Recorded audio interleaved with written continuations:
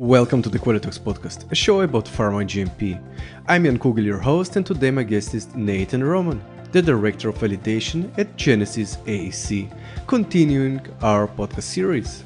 Nathan is passionate about thermal validation and loves helping people learn how to implement and carry out temperature mapping studies and equipment qualifications. Today's podcast will cover the steps to successfully validating a temperature controlled chamber. I want to thank Eupry, a leading temperature compliance service with the most innovative and stable solution on the market, for sponsoring this podcast episode. Hi, Nathan. It's wonderful having you back on the show, continuing our podcast series about thermal validation. Our topic today is the steps to validating a temperature controlled chamber. Are you excited about it as I am?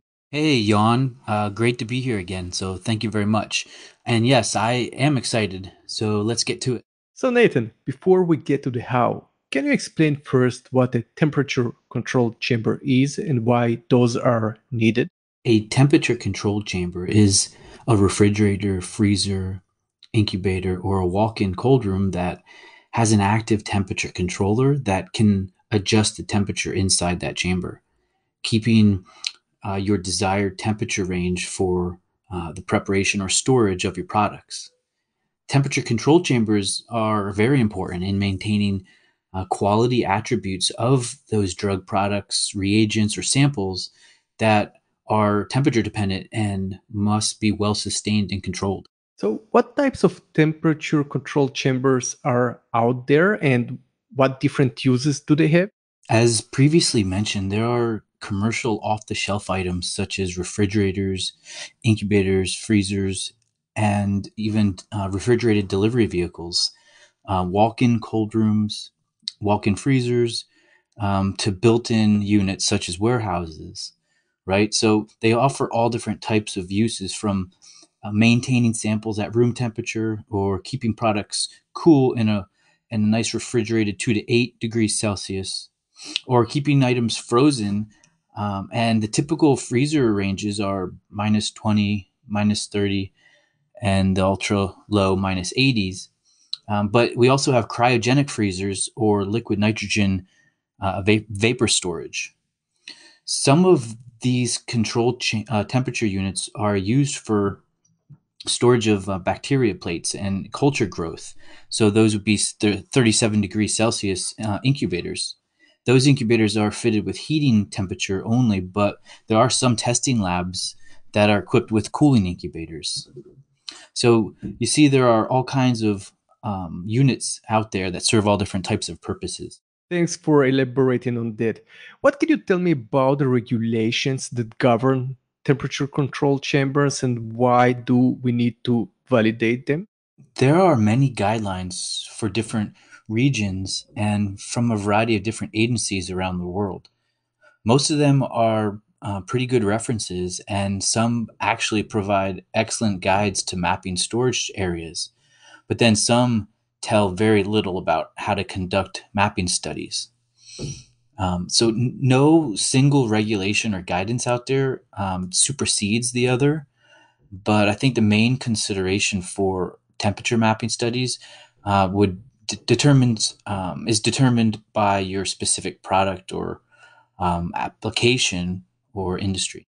That's good to know. So let us now get to the more practical part of the podcast, the validation. Would you tell me, please, about the steps one needs to follow to validate temperature controlled chambers? Sure, Jan. Uh, I'd love to.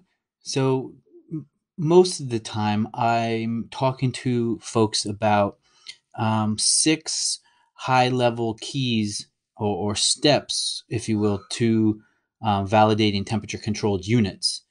And, um, you know, they're just simple and practical tools that uh, are easy to understand and implement um, because too much complexity reduces uh, your effectiveness, right? So, in other words, making sure that your work is performed in the most appropriate and efficient manner. Um, so one of the the first step that I that I talk about is knowing what temperature mapping is, right? So um, you know, temperature mapping, um, also known as thermal mapping, is an activity that's performed on controlled temperature chambers that record or map out the temperature within the chamber over a specified period of time. So number two would be um, knowing the prerequisites. You know, asking the right questions when it comes to uh, putting together a qualification document for um, a controlled temperature unit. Um, you know, asking the right questions. For example, do you have an O and M manual? Uh, what's the make, model, serial number for each unit? Uh, do you have a qualification uh, document template, or are you requiring us to develop one on our own? So uh, go, you know, go through several different questions uh, as part of the prerequisite to put you in the, the right place to prepare that documentation. Um, another one would be knowing and understanding what might be in in a URS for a, a temperature control chamber. Um, the fourth one would be physically seeing the unit prior to starting your qualification, uh, laying your eyes on the unit, going out and doing an equipment walk down, verifying that the unit's installed uh, properly, uh, verifying that the, the shelves are installed, verifying that the calibration was actually done. Um, you know, is the sensor probe in the proper location according to the manufacturer? So physically seeing the unit prior to even starting. Uh, the fifth step that I talk about is knowing the sensor's uh, locations uh, and considerations for temperature mapping. So, do you know where the sensors go? Do you know how many to put in the in the unit and why? So, learning and knowing that. Uh, the sixth step that I talk about is knowing and understanding what a basic temperature mapping protocol should contain. Right. So, what is in the IOQ? Um, you know, from from creating the document, uh, the purpose and scope. Um, you know what are the test sections that are involved in the iq um, you know verifying the, the equipment utility installation um, um, attaching the documentation the manuals the sops uh, do you have the calibration certs? Um, you know what test instrument are you going to be utilizing during this ioq and is that uh, attached to this uh, to this document? Um, what are the oq sections operational qualification uh, alarms your your mapping studies empty loaded are you performing an open door and power fail? So we know what exactly is in in, in um, an ioq qualification protocol? So those are the the top six things that i kind of i share I, and i teach um, those who are learning to get into uh, validation um, and, temperature mapping. And i teach them I, have put a, a training manual together uh, that goes over these six steps and hopefully with that information you know people are um, gaining the the understanding of what they need to do when um, temperature mapping chambers before we continue to the next question let me thank Eupry again for sponsoring this event if you want to upgrade your data loggers, you should know that Eupry's wireless temperature data logger constantly sends data to web-based software via Wi-Fi.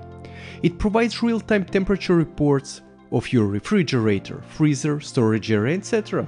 For ultimate compliance, once temperature deviation happens, it will immediately send you an SMS and email alarm which minimizes the risk during the monitoring process, so make sure to visit them at eupry.com. It's eupry.com later today. Great, thanks for this overview. So, which of the steps would you say is the most challenging for people to handle and why? Great question, Jan.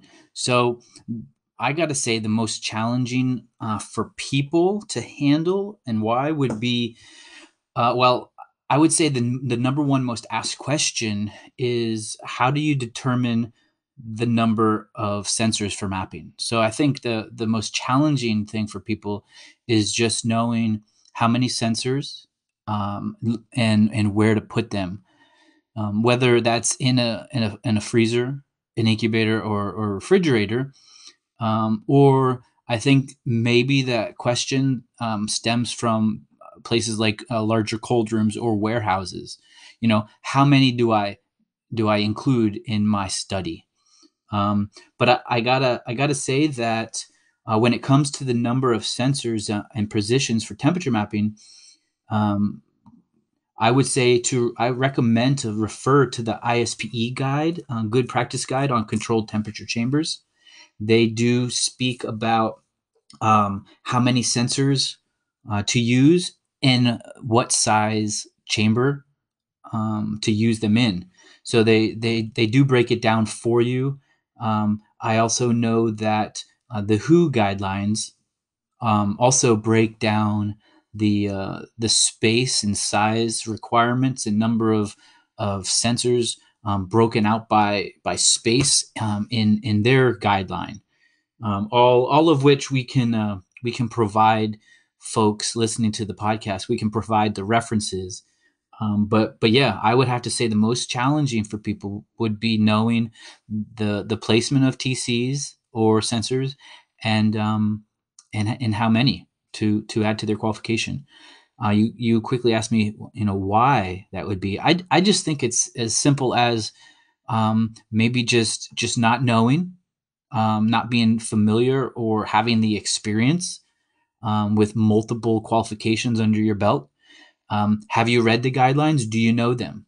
Um, I would recommend check them out, read over them, um, and then it's a it's a matter of doing it right. So how many chambers have you mapped? Um, how many warehouses have you actually had to map? Um, in my line of business, uh, on the consulting side, I've not only had to to um, write protocols, execute the protocols, place the sensors, uh, calibrate the sensors, um, but I've had to provide um, proposals or quotes to get the work done. So for me, it's it's a little bit different because I I'm seeing it all the time, and I, I kind of have to know that information in order to provide the proper pricing and things like that.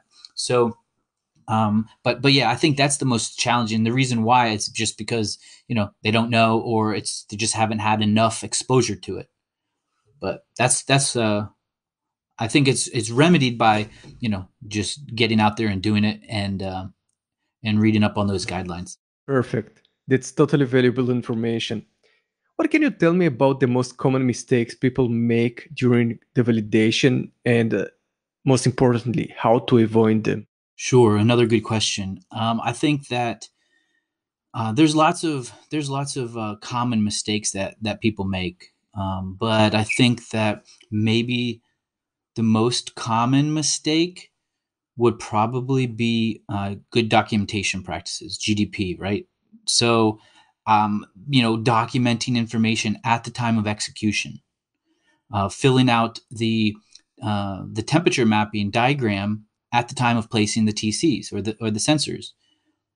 Uh, providing the, the, proper comments, attaching the documents um, with the the right the right information, uh, t- um, writing you know uh, the proper um, notations on the document, um, initial and dating in the right spot. So I, I got to think that the most common mistake people make is uh, based on good documentation practices. So you know, for folks listening, uh, go out and um, do some training, get some training, get a refresher. Uh, those managers, um, those directors out there, you know, give your people a refresher on GDP. Uh, it will it will help in the long run, that's for sure. Now there are other mistakes that people make, you know, uh, when it comes to validating, whether it's uh, calibration mistakes or you know not placing the sensors in the right location or maybe pinching the the wires causing you know um, you know a, a failure. Um, but so there's there's other mistakes out there but i gotta think that the most common mistakes people make are down to uh, good documentation practices. And i think a lot of that can be resolved by um, some some training uh, and refresher courses. That's what that's what i believe anyway. Excellent. I hope our audience adheres to your advice and avoids those issues altogether. Before we finish today's talk, can you share your go to resources for staying current with regulations and best practices in this domain? I would say, in order to stay up to date with the latest regulations and trends, a good place to start would be to involve yourself in the industry groups that are out there. Uh, what I mean is the ISPEs of the world or or other associations uh, you can follow regulatory agencies or companies on, on social media. LinkedIn, for example, uh, is, is a good place uh, to follow people for all things temperature mapping related. You can follow me, Um, you can attend conferences and even talking to your peers and networking helps you stay current and involved. And that's that's my route. Um, I stay involved or stay in the know because uh, you just I'm always um, online looking up information, uh, seeing what is um, available that I can put out there. Um, what knowledge have do I have that I can provide to others, um, and uh, and just staying constantly connected. Thanks a lot for re- revealing your resources. And Nathan, would you like to share your contact information with us again in case someone from the audience would like to ask you some questions or require about consultancy? Sure, absolutely, Jan. Uh, anyone who is listening to the the podcast um, would that have questions or would require some some assistance in, in temperature mapping, um, you can reach out to me um, through my email address, n roman at genesisaec.com, or they can look me up on LinkedIn. Um, my name is Nathan Roman, so N A T H A N R O M A N. They can find me on LinkedIn. Um, most of the content that is out there that I'm sharing is temperature mapping related, um, qualification uh, minded. So you can uh, you can you can connect with me there.